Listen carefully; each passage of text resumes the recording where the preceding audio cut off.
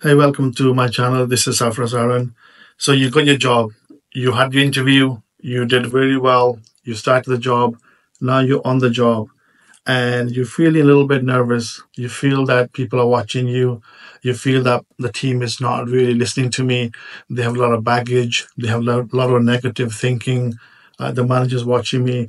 I really want to do well. All these things are going through your mind on your new job, and you want to overcome this nervousness that you have developed, and you want to come across as confident. And in these series of videos, I'll be helping you to understand how you can become an effective leader, an effective team player from the get go. So bear with me, and I'll take you through this journey so that at the end of it, you are able to deliver and be confident on your new job. Keep watching this.